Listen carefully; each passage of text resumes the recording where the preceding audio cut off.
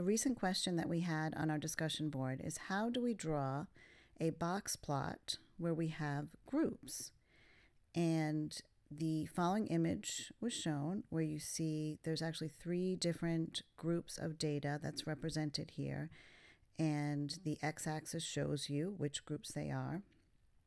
This is um, data that I managed to search on and found the data set online by kind of searching on these keywords. I'll put the link to this data in the uh, description of the video, but basically you can take the data here and you can see where I found this online. I'm just going to select all of this data and then I'll go ahead and copy it and paste it into DataGraph and show you how to create a graph like the one you saw there there we go. Here's all the data. And to make this easier, one thing that I often like to do is to go to the file, do Shift Command 4, um, uh, to, just sorry to, to copy this image, and then we'll go ahead and paste it into the DataGraph file. So I make a new graph for composition. This just gives me a clean slate that I can paste an image into.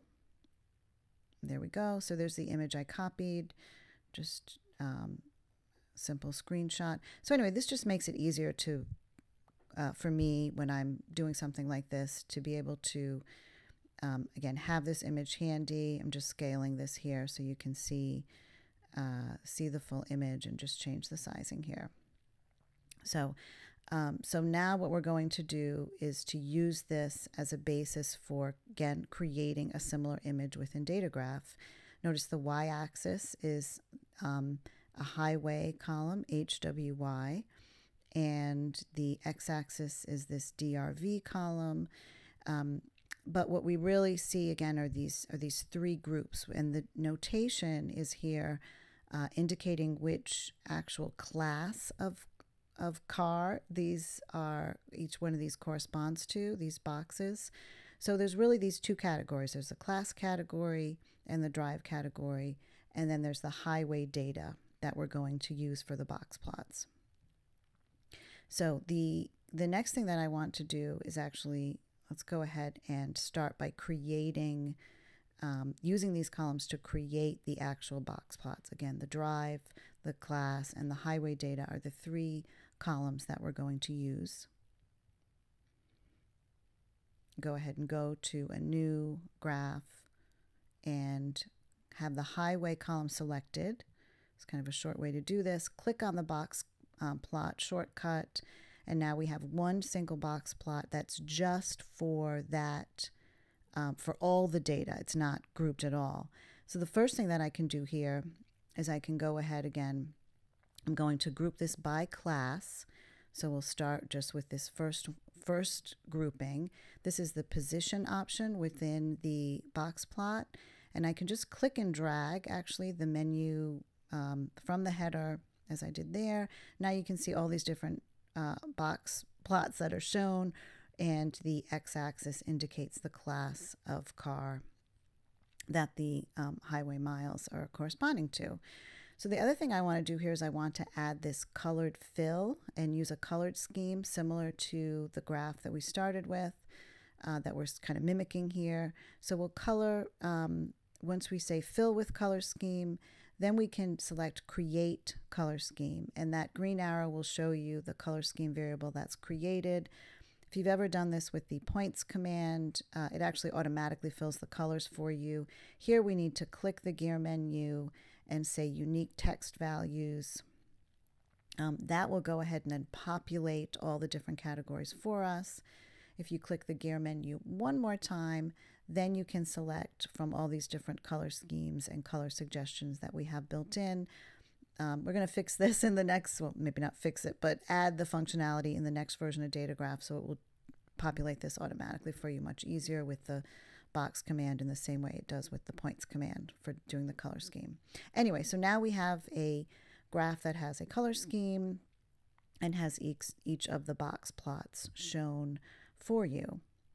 Um, so the next thing is going to be we want to clone this graph so that we can then modify it. So I click that little button to create a copy that we can then work with to do this additional grouping. Now, there isn't a, a second grouping level within the command itself, um, but rather what we're going to do is use a mask to filter the data uh, and create three different box commands.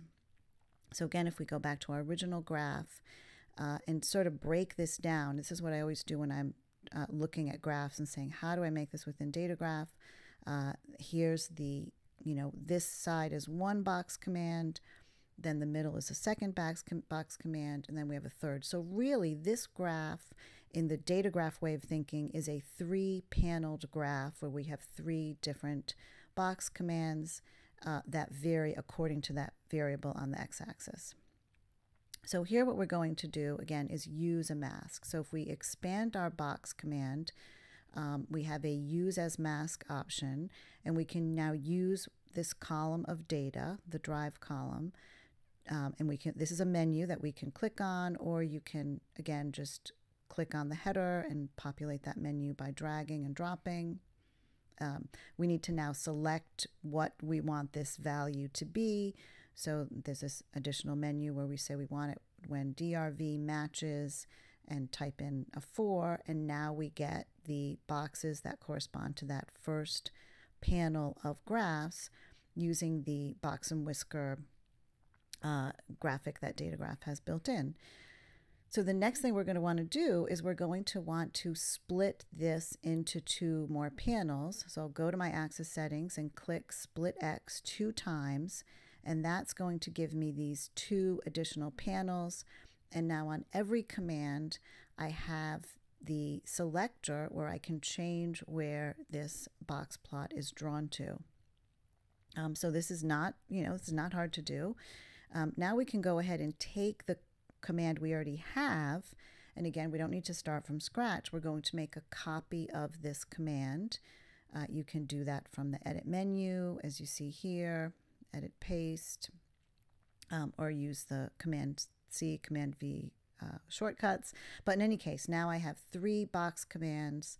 They are all across uh, these different panels. And now I just want to modify the masks on these other two commands in order to go ahead and appropriately specify which data I want in each one of these panels. So I'll go ahead and change this first one to F, and then the last one will be R. And now we're getting, you know, closer and closer to the graphic that we are um, working to create something similar here.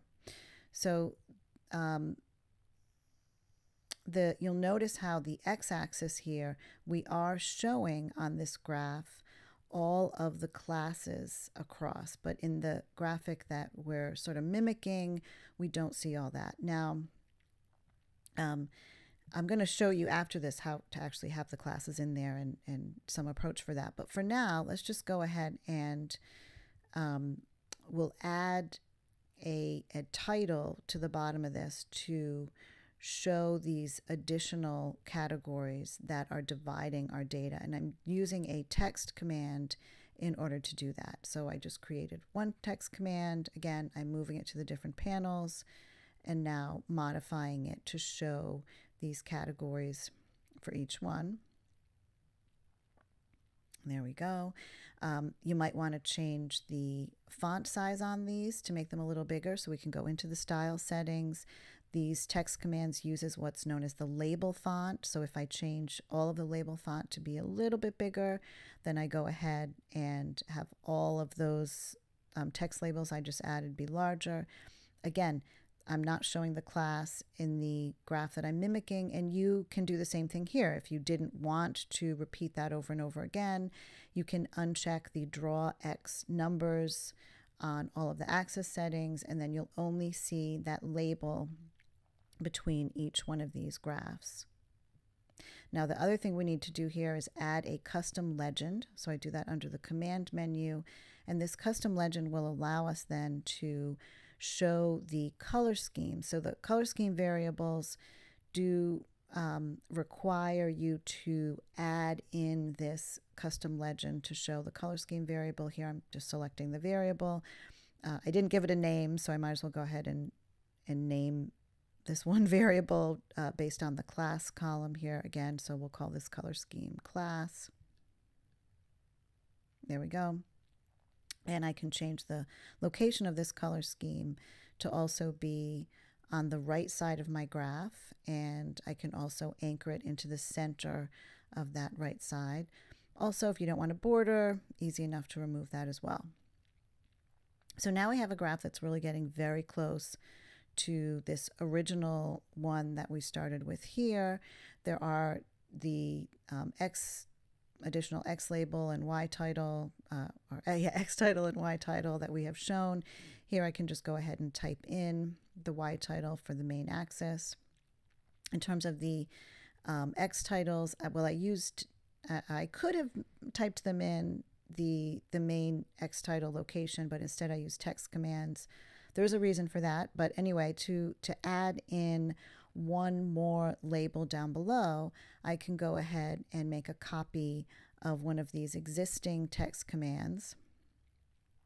Go ahead and paste that in. Now I have one more text command, and these all have offsets that just have this slider that I can use to go ahead and change that. Whoops. If you actually double click on any of these text labels directly on the graph, you can go ahead and edit them.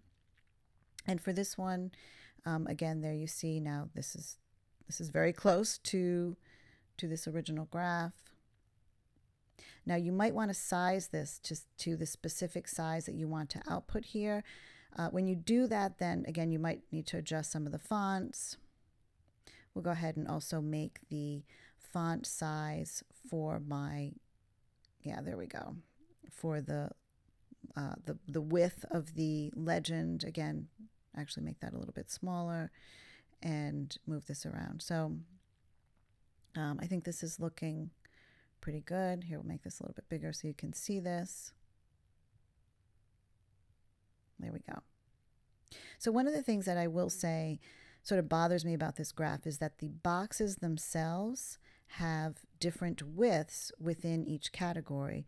So the categories have a consistent width, which means since we have in some of the categories more uh, types of classes that the individual boxes are not the same with. Now that's the same thing in the original graph that we uh, are mimicking here, but the um, in DataGraph we can scale each one of these windows in order to appropriately get a uh, the sorry get the box in each one of these panels to be the same width so if you go into your axis settings, this is something that you can change. There's this relative sizing um, that is very useful for something like this.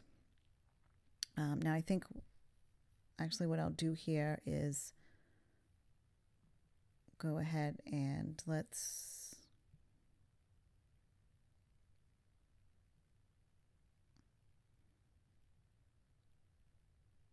yeah, I think what I'll do here is go ahead and we can close the um, data list on the left and go ahead and click on this swap button that's at the bottom of the data table in order to go ahead and get a little more room so you can maybe see this a little bit better. So I have my two axis settings. I can highlight them, use a right arrow key to just open them both up. And now what I want to do is notice this width option. So this is a relative scale that as I change it, it will change the width of either of my additional panels relative to the main panel. And remember, the main panel is the one that's on the left-hand side. That's always going to be the, um, the, the, the, the way that this is scaled. You're always scaling to that one on the left. And now Notice how there's this one dot here and a line. Uh, so this is kind of hard to see actually in the original and it took me a while to realize this, that actually there's five different categories here. This one uh, class actually only has one data point in it, so it doesn't show up as a box plot. But anyway, since the main one has five and the one in the middle has four, I use a four fifths ratio to scale these so that they have this, the boxes have the same width um, again, here's the main axis. that I'm comparing to that has five different boxes. Now, if we look to the one all the way on the right, this has three boxes. Uh, and so to scale this appropriately, I can put 3 fifths in the width, and now all of my boxes in my box plot have the same width. Personally, I really like that. I think that um, looks nice, and I think that's a more appropriate representation um, in terms of helping to really see all the data clearly and to helping to differentiate between them. Again, here you see how all of these classes, um, the way since there's different amount of classes for each one, you see how they're it, they're different sizes. So here, if we wanted though to show the class, um, we can go ahead and add that back in. So I just want you to kind of think about again the fact that really each of these boxes is representing a class.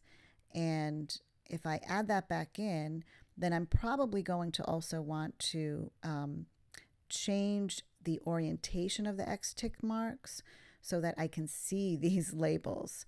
So uh, this is easy enough to do. Each one of these uh, X tick mark options has a way to rotate it and they sort of snap into place. So I have to do this three times, but it's pretty easy to get them to snap where I want them to be. Now notice I have these other labels, the 4, F, and the R. Those are now being hidden by my uh, rotated uh, axis labels here.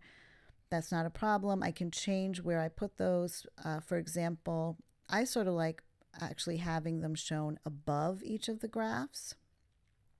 I think that's a way to really see them a little bit clearer and um, yeah, there you go. Now, another thing I will need to do here is align these properly. Um, maybe make this font a little bit smaller too. But now if I go back to my text commands, the to have them centered within each group, I'm going to need to um, a lot change the align on them. So first here, let's just give these some better names so that I can actually, um, so the graph is again a bit more understandable. And yeah, go ahead and change this alignment to center.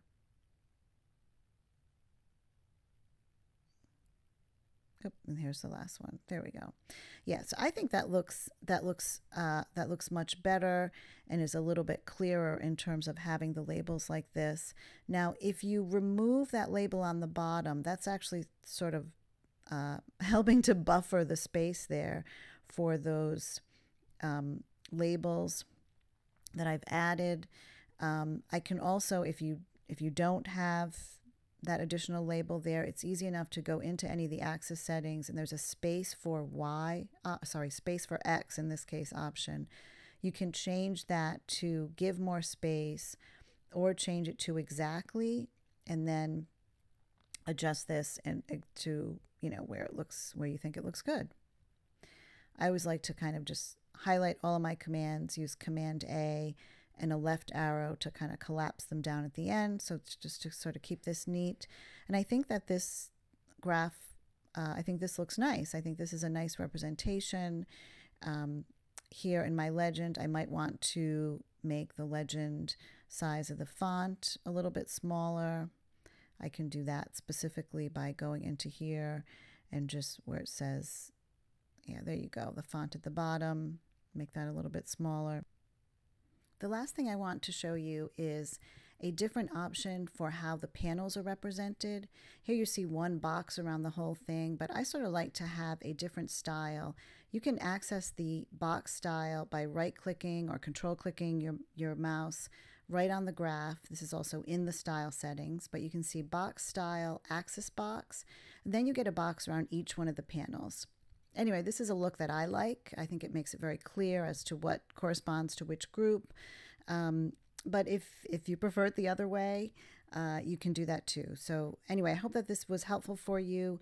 We're going to have this example file in our online examples that you can access from within DataGraph. And any other questions you have uh, or issues, as always, let us know.